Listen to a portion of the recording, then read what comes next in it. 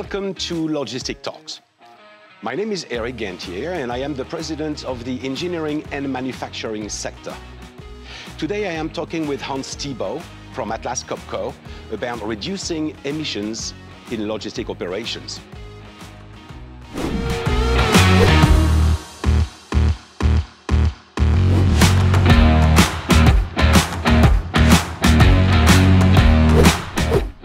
Hello, I'm Hans Thibault. I'm responsible for uh, logistics within the business area Compressor Technique for Atlas Copco.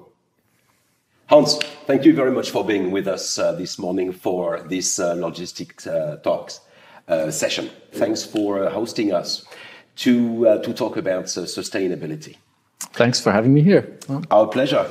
Um, something I would like to start um, asking you is um, everybody knows about these uh, climate changes, yet not all the companies are acting. So tell me, why is Atlas Copco leading the pack? Atlas Copco is a Swedish company, of course, so we have already a long heritage of, uh, of working on sustainability. Um, it's in our genes for a long time already, but also now I think we really go uh, second, third, or fourth gear, I would say.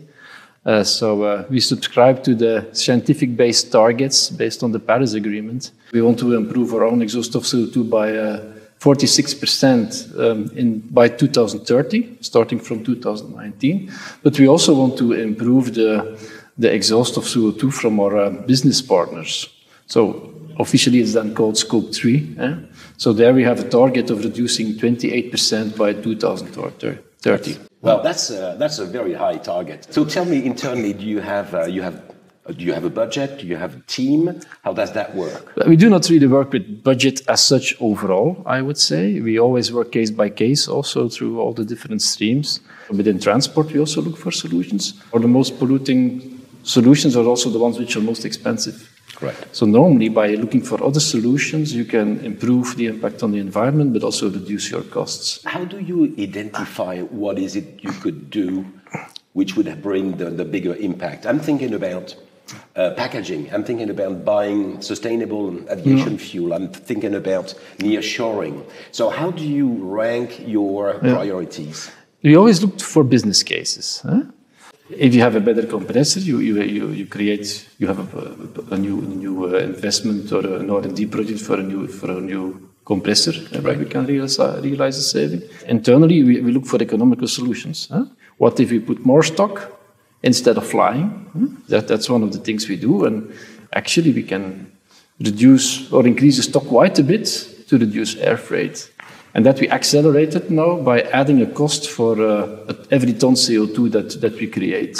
So in every business case, we do that. So, and that makes that we, we can invest more um, with, this, with, with this payback on, on, on CO2. Which, right. we, which we have given a, a certain value. Okay. Is, uh, I mentioned uh, uh, packaging. Yeah. You, did you have any um, experience in uh, packaging? Yeah, with that we do for many years. Okay. I'm working 28 years for the group. Um, as long as I'm there, we are using this recyclable packaging. Okay. And we are not, we use biodegra biodegradable packaging. Right. Um, we still use airbags. Of course, we are a compressor factory, so we, we, we like to use air. Some people discuss this. We have done the calculations, and there again, for us, all in all, it's still better because the plastics can be recycled as well for sure, and it's a lot lighter than a lot lighter than the paper or, or carton filling. So also there we do we do this calculation. Okay.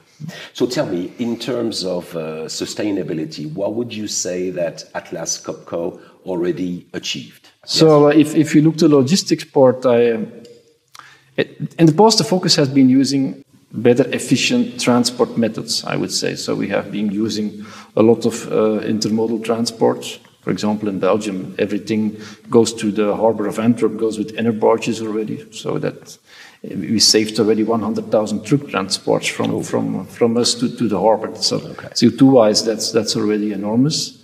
Um, that's, that's a big one. Um, we have also reduced air transport quite, quite, quite a bit already, um, where, where possible, of course. Um, and we started to, to to explore other things like, like SAF as well. There is no payback immediately.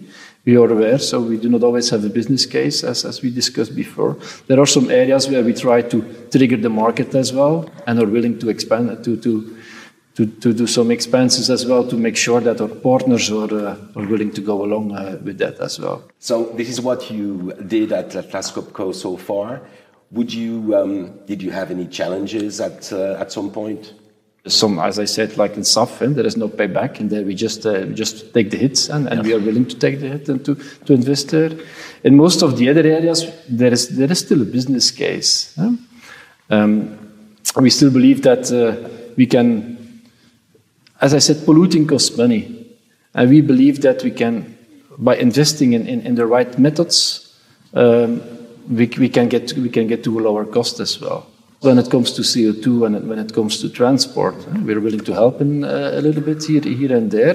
But in the end, we believe that by investing, transport will come with solutions, or the transport companies, together, of course, with, with the airplane manufacturers and, and, and forwarders and, and, and, sailing industries. Um, they will come with solutions also that in the end, with a lower cost, we'll have a lower CO2.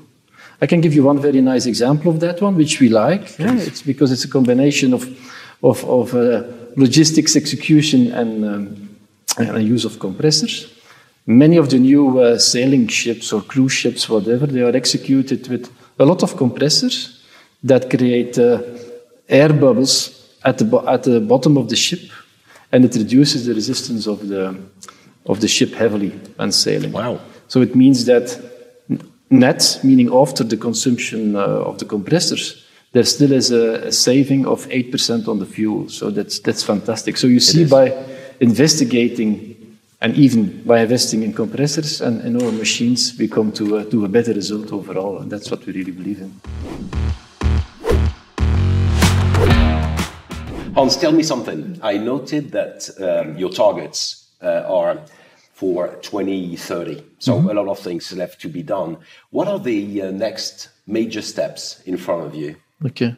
So I, I would say that major steps is reducing of air freight further, huh? because logistic wise, air freight is the biggest polluter. And unfortunately, apart from SAF, there are not really uh, good solutions yet.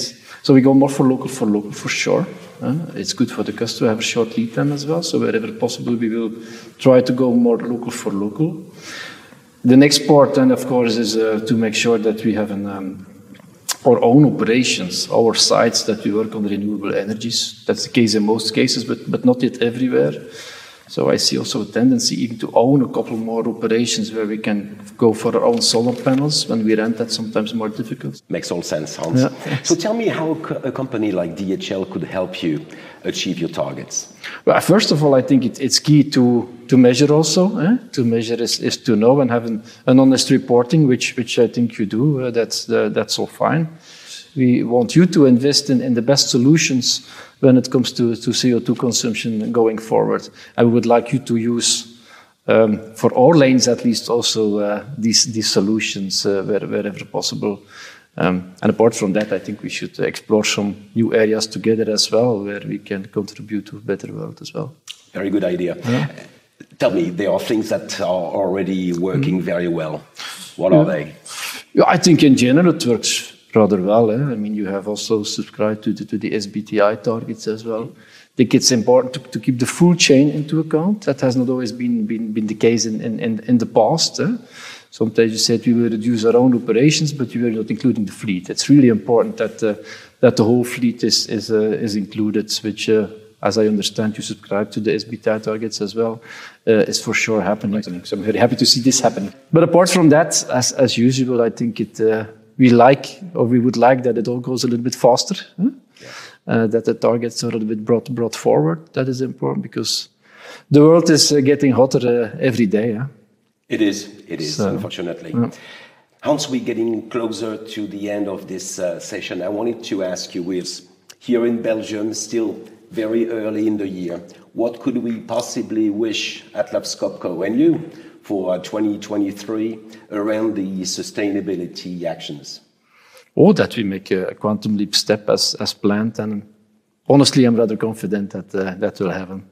Okay. Well, Hans, thank you very much again. It was a pleasure to be with you here in Belgium this morning, and we wish you all the best. Thanks a lot.